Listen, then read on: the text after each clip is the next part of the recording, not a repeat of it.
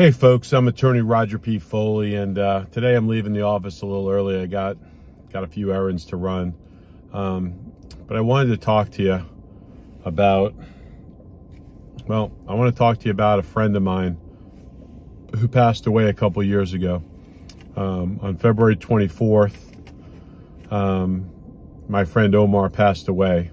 He was involved in a car accident and on February 27th, which is also my birthday, um, I was at his funeral. And I, I can't help but think that if someone had a tool when he was involved in the accident, I'm going to give you a basic story. He was involved in a car accident where he lost control of his vehicle. He spun sideways and he hit the side of a, a small tree like a palm tree he was driving a Tesla. If you know anything about Teslas, they have those remote door handles. So uh, they, they go in, so there's no handle to break. Well, there was an officer behind him on the road. Um, I think it was an unmarked car. Um, but he saw him go. Well, right when the accident happened, the car caught on fire. And whether Omar was unconscious, uh, you know, we don't know. We know he was alive because um, he didn't have any broken bones or anything, but the car caught on fire. The, the officer and another person tried to break the window, tried to open the door handles, and they weren't, they couldn't. And Omar was like, he was just a, a solid guy, just someone that I always remember.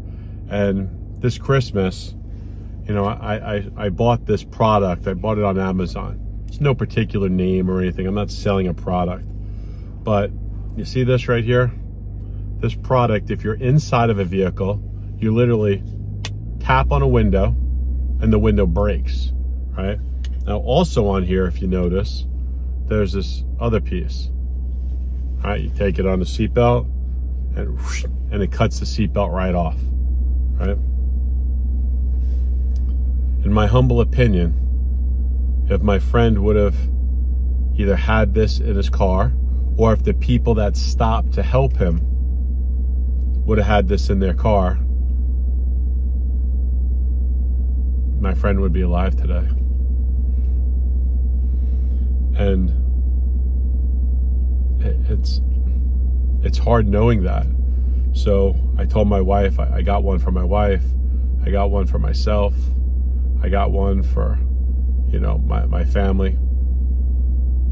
Crazy thing is, is my wife forgot to wrap them. So everyone didn't get them. I bought like a whole case of them. And I'm, I'm going to give them to people because Omar's children lost a father. His wife lost a husband. Family, you know, brothers, sisters, his parents lost a son. And this simple product that literally cost a couple of bucks broke the glass. Again, the officer couldn't break the glass and he couldn't get the handle to come out. And um, my friend died in the car that day, February 24th. And it's gonna it's gonna stick with me forever. And um, I'm not telling you because I want to tell you a sad story. I'm telling you because these products, right? I don't know, you just keep it inside your, your door here, or you keep it on your visor. If you get stuck, you know, if your car flips over, sometimes it's hard to get that seatbelt off. God forbid you go into water, it's hard to get the door open. This little, look at that, that, that little bit will crack that. You know, I watched the demonstrations. I'm not going to do it on my brand new truck, but that little piece can break it, and that can cut the seatbelt off. And if the two people that were right behind Omar on February 24th would have had these items, I mean, they threw stuff against the window trying to break, they couldn't, couldn't break it. And he died. And um, I'm never going to forget my friend. Never going to forget what happened. But I would like to uh, let other people know that sad story so they can protect themselves. I'm attorney Roger P. Foley. Um, protect yourself. You never know. Uh, these things cost me a couple dollars. Um, buy one on Amazon and uh, keep your keep yourself safe and your family safe. Thanks. Rest in peace, Omar. You're loved, my friend, and never forgotten.